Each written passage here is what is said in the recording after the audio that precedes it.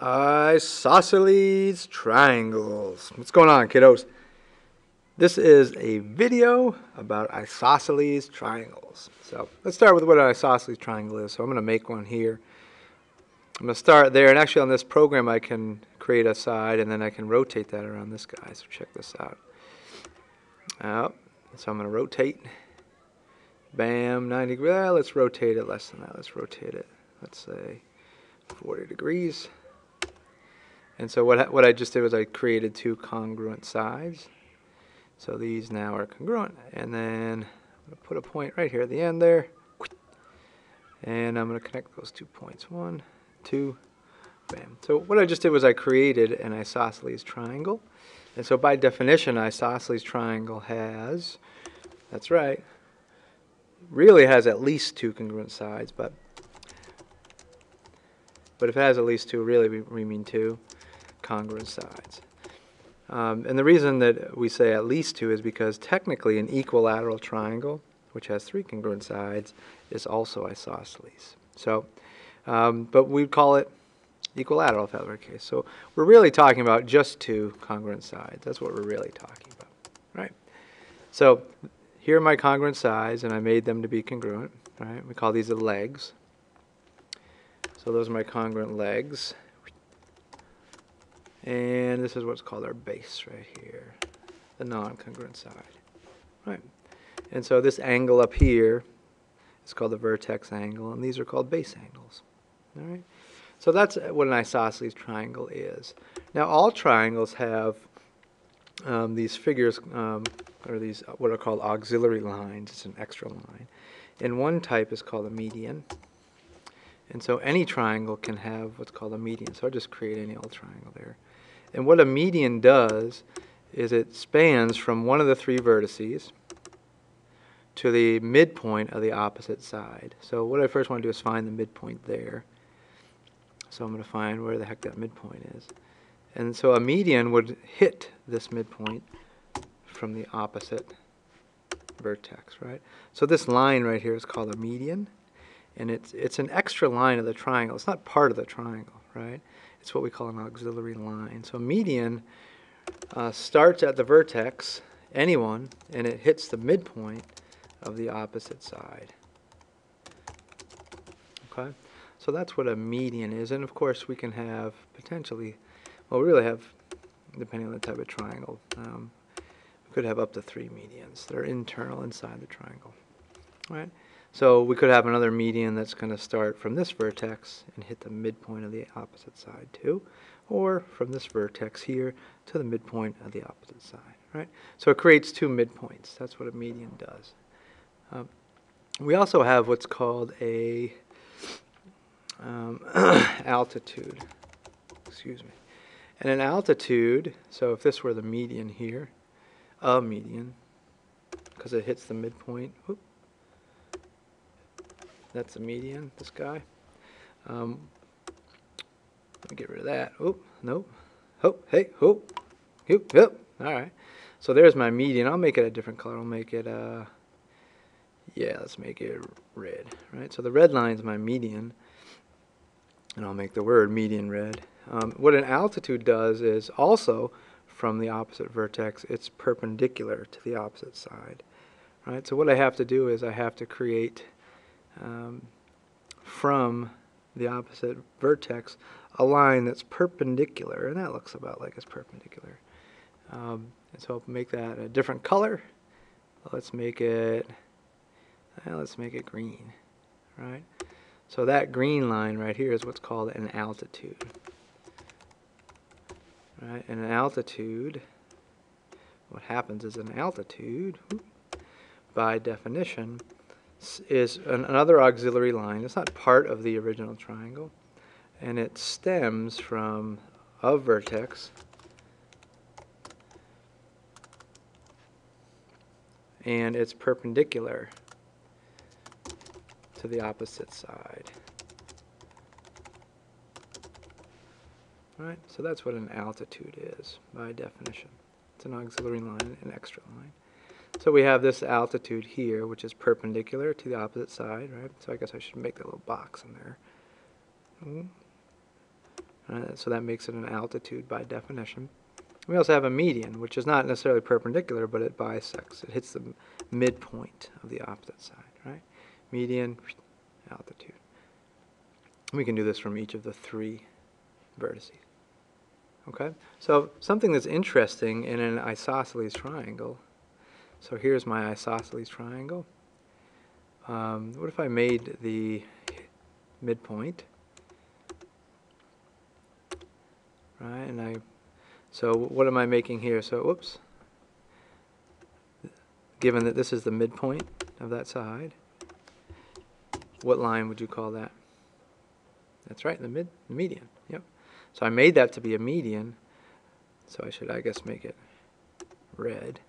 So it's a red median. Now, what's interesting is if the triangle's isosceles, what does that also look like it is? Ooh, yeah, that's right, altitude too. So if it's an isosceles triangle, this line, this this median, I made it to be a median, but it's also an altitude. Uh, or it looks like it is. We can prove that tomorrow. And what do you think we can say about these angles if it's that's right, yeah, they're equal, right? So what happens is for an equal an isosceles triangle or equilateral, but at least an isosceles triangle, the median to the base is also an altitude and it's also an angle bisector. So that's only if it's isosceles, right? Obviously, clearly here, the median altitude are different lines. But if it's an isosceles triangle, if we're going to the base, the non-congruent side, um, then this particular line right here is if it's a median, it's also an angle bisector and an altitude. We'll talk about it tomorrow. All right, last thing is what I call ITT. It's the isosceles triangle theorem. Isosceles triangle theorem. All right, and so what do we want to do is we want to create an isosceles triangle. So I'm just going to copy this guy up here. Edit, copy. And I'm going to paste it down here. Start fresh.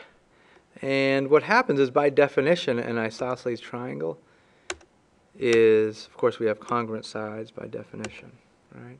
But what else do you think will be congruent if it's isosceles?